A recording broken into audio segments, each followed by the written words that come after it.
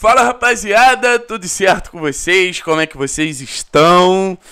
Infelizmente não tem jogo do Furacão nesse meio de semana, né? Faz falta, velho. Faz falta assim pra rotina ver um, ver um joguinho. Tô ansioso para ver esse elenco principal, vou ser bem sincero com vocês. Mas, ao que tudo indica, a gente vai ver esse elenco principal no final de semana. Ainda um elenco principal com muitos desfalques, mas é o elenco principal que vai ser responsável por virar o confronto contra o Londrina. Lembrando que o Atlético, nas quartas de final do Campeonato Paranaense, começou perdendo. Não fez um bom jogo em Londrina, obviamente existem pontos para elogiar, mas como um todo não fez um bom jogo lá no Estádio do Café e agora vai precisar correr atrás do resultado. E muita gente pode olhar isso como uma situação negativa. E até é, nunca é bom perder um jogo. Mas pensando em preparação de um time para a temporada, eu não sei se é tão negativo assim, eu vou tentar convencer você.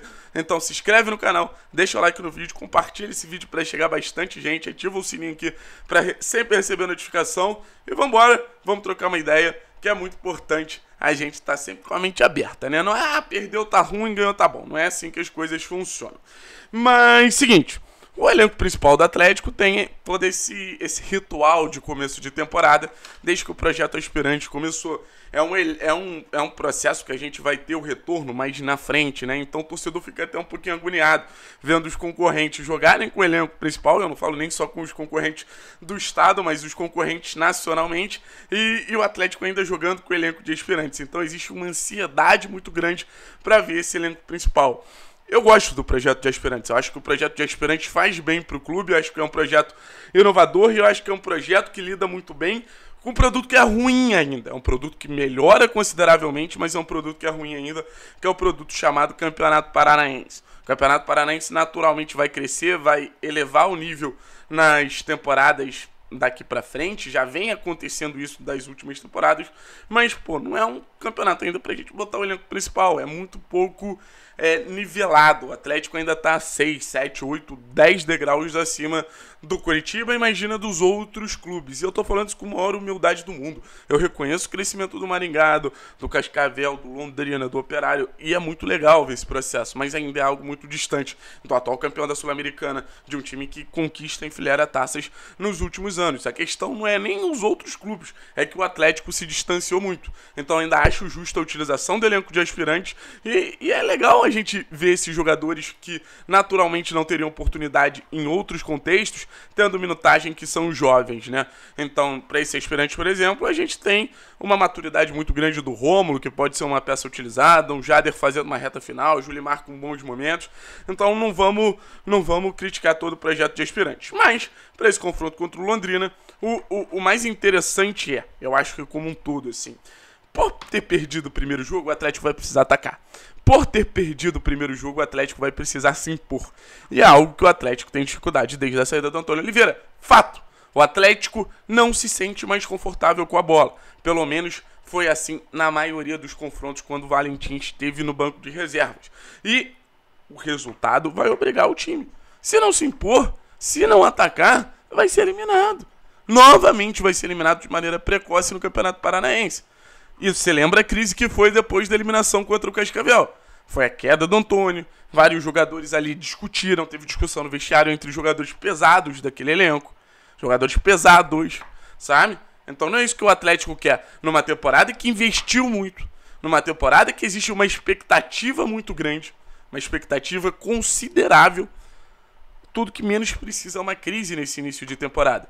E levando em consideração que eu acho que hoje o contexto é um contexto até ambíguo, assim, se a gente for falar é, do Atlético do atleticano. É um contexto de muitas dúvidas em relação ao treinador, e eu acho que tanto o desempenho da equipe quanto os resultados da equipe do Alberto Valentim naturalmente geram essas dúvidas. Ponto. Show. Perfeito. E certeza sobre o elenco. Hoje, se o torcedor do Atlético entrar lá, www.atletico.com.br, falar em clube e elenco, vai ver um elenco que é comprovadamente forte. Vai ver um elenco que é comprovadamente competitivo, sabe? Então, certeza de um lado, dúvidas do outro. Isso que eu acho que é, que é interessante no final das contas. Porque, é, no final das contas, é aquela velha, aquela velha metáfora, né? Será que esse treinador está preparado para dirigir? Não sei se é uma Ferrari, mas é um bom Renegade. Hoje eu acho que o Atlético é um bom Renegade, um carro ali charmoso que tem toda, toda uma questão ali de. Pô, chama atenção, mano. Hoje o Atlético chama atenção, hoje o elenco do Atlético chama atenção. Tava conversando com alguns colegas lá na Band, tricolores, flamenguistas, botafoguenses. Quando eles foram dar uma olhada no elenco do Atlético, o elenco ficou assim: caralho, é um bom elenco. E se a gente for pegar e dissecar o elenco, a gente pode fazer isso aqui rapidinho, realmente é um bom elenco. Seja do gol de Santos Bento, Anderson, Léo Link, seja da zaga, com muitas e muitas e muitas opções, sabe? Hoje o Atlético tem um dos melhores zagueiros do Brasil, sem dúvida, que é o Thiago Heleno, e tem bons coadjuvantes para jogar ao lado dele, como é o caso do Pedro Henrique, Zé Ivaldo, próprio Nico, sabe? Na, na meiuca tem jogadores importantes, o Eric, o Citadini, o Terães, o Marlos, o Coelho chega para elevar muito o nível desse ataque, tem a volta do Pablo, que é ídolo, tem a volta do Cirino. Então, porra, quem não dá valor ao elenco atual do Atlético é maluco. Mas hoje é o Valentim que precisa se, se justificar para esse elenco. Assim, eu dou conta do recado não é mais, o, o, não é mais um processo conjunto. Sabe? Obviamente, existe um coletivo, mas hoje o Valentim tem mais responsabilidade que o elenco. E para isso ele precisa mostrar mais que o elenco. Obviamente, a ferramenta do Valentim é o elenco. Mas não vai ser o elenco que vai criar mecanismos ofensivos sozinho. Não vai ser o elenco que vai criar mecanismos defensivos sozinho. Não vai saber atacar pelo lado, não vai mostrar repertório. Isso não sai da cartola, isso não sai do nada. Isso sai de uma construção. E essa construção depende do treinador. Essa construção depende de um cara que comanda. E eu tava até com uma fé no Valentim, cara, vamos dar um tempo. reta final da temporada passada foi complicada, não foi tão simples assim ele chegar e, e, encaixar no time. Mas depois do jogo contra o Palmeiras, quando eu vi o time se olhando e não sabendo o que fazer a partir do momento que toma o gol, eu fiquei com muita dúvida em relação ao que o Valentim realmente pode nos entregar. Mas voltando a falar do time, é, é o início de uma construção, né? É o início de dos passos que o time vai dar ao longo da temporada, dos degraus que o elenco vai subir. E é, e é interessante a gente lembrar que dificilmente um time que começa a temporada vai ser um time que vai terminar a temporada. Esse é um ponto muito, muito, muito importante. Então, é um início, é, é um processo que, que vai melhorar. Então, a partida contra o Londrina não vai ser a mesma partida que o Atlético vai jogar, sei lá, na metade do Campeonato Brasileiro, até porque vários jogadores não estão inscritos e é uma oportunidade foda para os jogadores que estão inscritos se destacarem. Por exemplo, existem alguns casos de jogadores que precisam se provar ali. O senhor Dani Bolt. É, tá na hora de fazer um jogaço, assim. Tá, fazendo, tá na hora de fazer um jogo incontestável por toda a incerteza que se tem na lateral direita. E falando de jogadores mais provados, assim. Hoje, não sei se o Citadini continua como titular da equipe, apesar da boa reta final de temporada. O Gumura começou muito bem. Então é uma oportunidade para o senhor Léo Citadini se mostrar também, sabe? É uma oportunidade para o senhor Matheus Fernandes buscar e mostrar que pode ser titular também. É uma oportunidade para o senhor, sei lá, Pedro Henrique. Não dá brecha para os concorrentes que estão chegando. É difícil lembrar todos que estão inscritos. O senhor Pablo começar a abraçar essa posição que tem tudo para ser dele sabe? Então é uma lacuna muito importante para os jogadores também esse confronto contra o Londrina. E para a gente terminar, algo que muita gente ignora e, e, eu acho muito importante, tá ligado?